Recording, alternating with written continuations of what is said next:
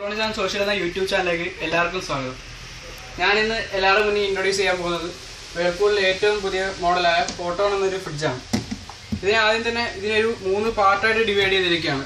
ഇതിന്റെ മേളത്തെ പാർട്ട് ഫ്രീസറായിട്ടും താഴെ food item store ചെയ്യാനായിട്ട് ഏറ്റവും താഴെ വെജിറ്റബിൾ സ്റ്റോർ ചെയ്യാനായിട്ടുമാണ് ചെയ്തിരിക്കുന്നത്. പിന്നെ ഈ ഒരു വലിയ ഫ്രിഡ്ജിന് ഒരു വർഷം ഓടണമെങ്കിൽ ഒരു സി എഫ് എല്ലിൽ ഒരു വർഷം ഓടുന്നതിന്റെ അത്രയും പോലും എനർജി വേണ്ട. അതാണ് ഇതിന്റെ ഏറ്റവും വലിയ പ്രത്യേകത. പിന്നെ nine plus one years warranty ഉണ്ട്. ടെൻ ഇയേഴ്സ് വാറണ്ടി ഇന്ന് പറഞ്ഞിട്ടുണ്ട്. പിന്നെ ഇതിന്റെ ഫ്രിഡ്ജ് ഞാൻ തുറന്ന് കാണിക്കാം.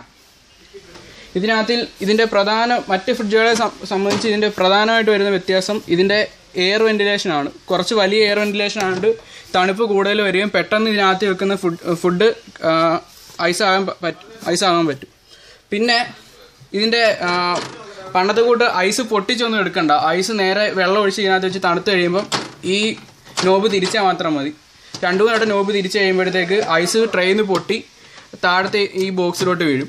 അങ്ങ് എടുത്ത അത്രയും സിമ്പിളായിട്ടാണ് ഇതിന്റെ ഡിസൈൻ പിന്നെ ഇതിന് ഇത് ഒരു കൺവേർട്ടബിൾ മോഡൽ ആയതുകൊണ്ട് സെപ്പറേറ്റ് ഇതിന്റെ ഫ്രീസറും ഫ്രിഡ്ജ് ഫ്രീസറിനെ ഫ്രിഡ്ജ് ആക്കാൻ പറ്റുന്നതാണ്. ഇതിന്റെ ഈ നോബ് അഡ്ജസ്റ്റ് ചെയ്യുന്ന വഴി ഈ ഫ്രീസറിനെ ഫ്രിഡ്ജായിട്ട് മാറ്റാൻ പറ്റുന്നതാണ്. പിന്നെ ഇതിന്റെ അടുത്ത കമ്പാർട്ട്മെന്റിലോട്ട് വരികയാണെങ്കിൽ വരുന്ന കമ്പാർട്ട്മെന്റ് വരുന്നത് ഒരു ഫ്രഷ് റൂമും മൂന്ന് ടെമ്പേർഡ് ഗ്ലാസ്സോടും കൂടിയാണ് വരുന്നത്. പിന്നെ ഇതിന്റെ ഫ്രഷ് റൂമിന് അതിനകത്ത് വരുന്ന തണുപ്പ് കൂടാതെ ഈ താഴെ നിന്നുള്ള തണുപ്പും കൂടെ കിട്ടാൻ വേണ്ടി ഒരു ഒരു കൺട്രോൾ നോബ് കൊടുത്തിട്ടുണ്ട്. ആ നോബ് കൺട്രോൾ ചെയ്യുന്ന വഴി താഴെ നിന്നുള്ള തണുപ്പും കൂടെ കൂടുതൽ ചെല്ലുന്നതാണ്. പിന്നെ ഇതിനൊരു എയർ ബൂസ്റ്റർ താഴെ കൊടുത്തിട്ടുണ്ട്.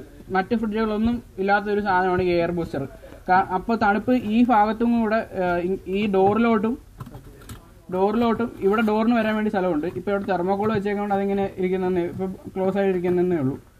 പിന്നെ ഈ ഡോറിലോട്ടും ഈ ഷെൽഫിലോട്ടും ഇവിടെ നിന്ന് തണുപ്പ് വരാനുള്ള ടെക്നോളജി കൊടുത്തിട്ടുണ്ട്.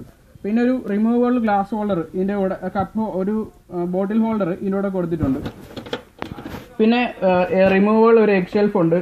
പിന്നെ ഇവിടെ ഒരു ഇവിടെയും കൂടെ ഒരു ഷെൽഫ് കൊടുക്കാൻ വരുന്നല്ലോ നമുക്ക് എല്ലാവർക്കും തോന്നും. പക്ഷെ അവർ കൊടുക്കാഞ്ഞെന്ന് വെച്ചാൽ വലിയ ബോട്ടിൽസ് എന്തെങ്കിലും ഹോൾഡർ ചെയ്യാൻ ഹോൾഡ് ചെയ്യണമെന്നുണ്ടെങ്കിൽ ഇവിടെ ഒരു ഷെൽഫ് ഉണ്ടെങ്കിൽ അത് പാടായിരിക്കും. ഇപ്പൊ ആ ഷെൽഫ് ഇല്ലാതെ വളരെ പെട്ടെന്ന് ആ വലിയ ബോട്ടിൽസ് ഒക്കെ നമുക്ക് സെറ്റ് ചെയ്യാൻ പറ്റുന്നതാണ്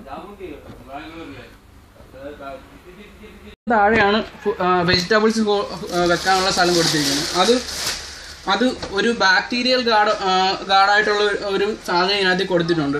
ആ ഇപ്പം ഏതെങ്കിലും ഒരു ഫ്രൂട്ട്സ് ഇതിന്റെ സ്മെല്ലിന് വ്യത്യാസം വല്ലതും വന്നു കഴിഞ്ഞാൽ ഇതിനകത്ത് നിന്ന് ഒരു എയർ ഫ്രഷ്നർ ഉണ്ട്. ആ എയർ ഫ്രഷ്നർ ആ സ്മെൽ ആ സ്മെ ആ സ്മെല്ലിനെ വലിച്ചെടുത്തിട്ട് നല്ല സ്മെല്ല് ഈ ഇതിനകത്തോട് കൊടുക്കും. അതുകൊണ്ട് എപ്പോഴും ഇത് ഫ്രഷ് ആയിട്ടിരിക്കുന്നതായിരിക്കും.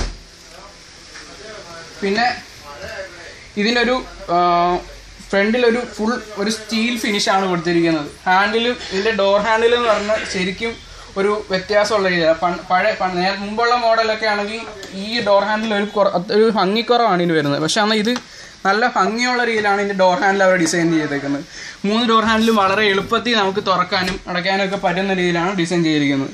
പിന്നെ ബാക്കിയുള്ള ഫ്രിഡ്ജ് വരുന്നത് മൊത്തം ഗ്രിൽ ഫ്രിഡ്ജിന് വരുന്ന ഗ്രില്ല് ഗ്രില്ല് ഒരു ബാക്കി ഒരു ഗ്രില്ല് വരുന്നുണ്ട് മിക്കതിനും. പക്ഷേ ഇപ്പോൾ ഉള്ള ഫ്രിഡ്ജ് ഈ വേൾപൂളിൽ ഈ ഫ്രിഡ്ജിന് ഗ്രില്ല് അങ്ങനെയുള്ള ഒന്നും വരുന്നില്ല.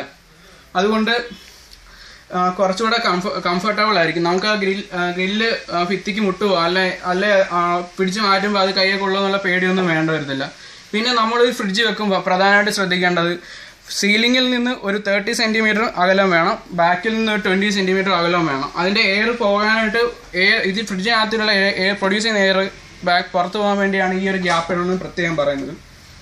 പിന്നെ ഏറ്റവും പുതിയ മോഡൽ കംപ്രസറാണ് അവർ ഇതിനകത്ത് ഇൻസ്റ്റാൾ ചെയ്തിരിക്കുന്നത്. അതിന് ഒത്തിരി വർഷ ഒത്തിരി വർഷത്തെ ശ്രമപരമായിട്ട് അവർ ഡെവലപ്പ് ചെയ്ത ഒരു കംപ്രസറാണ് ഇതിന് പ്രത്യേകമായിട്ട് വെച്ചിരിക്കുന്നത്. ഇതോടെ ഞാൻ ഈ വീഡിയോ അവസാനിപ്പിക്കുന്നു.